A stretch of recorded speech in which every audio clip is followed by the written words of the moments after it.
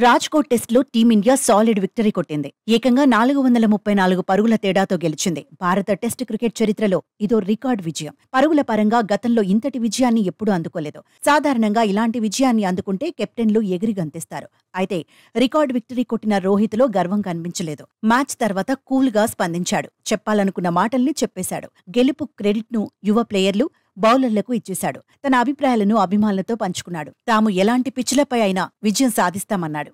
Spin పిచ్ల మీదే కాదు విదేశాల్లోనూ victory కొట్టగలమన్నాడు.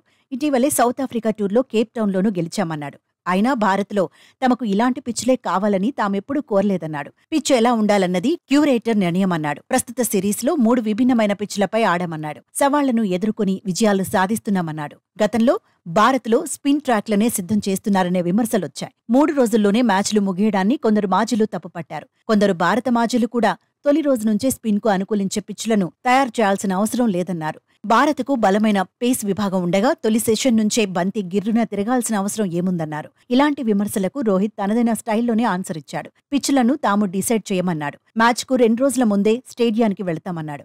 అలాంటప్పుడు పిచ్ల గురించి తమకు ఎలా తెలుస్తుందన్నాడు. పిచ్ ఎలా ఉన్నా గెలవగలిగే సత్తా టీమిండియాకు ఉందన్నాడు. టన్ దొరికితే మాత్రం భారత బౌలర్లకు అనుకూలిస్తుందన్నాడు. పరిస్థితులను అనుకూలంగా మలుచుకోవడమే టీమిండియాకు బలమన్నాడు. పిచ్ స్పిన్కు అనుకూలించిందన్నాడు. వికెట్ నిదానంగా ఉందన్నాడు. విశాఖపట్నంలో మ్యాచ్ జరిగిన కొద్దీ పిచ్ మారిపోయిందన్నాడు. స్లో అయిందన్నాడు. రాజ్కోట్లో సంప్రదాయ వికెట్ కనిపించిందన్నాడు. భారత్లో సహజంగా పిచ్లు ఇలాగే ఉంటాయన్నాడు. రాజ్కోట్లో నాలుగో రోజు ఆటలు బంతి టర్న్ అయిందని చెప్పుకొచ్చాడు. అయితే పిచ్ పరిస్థితులను ఆటగాళ్ళు అర్థం చేసుకోవడం ముఖ్యమన్నాడు.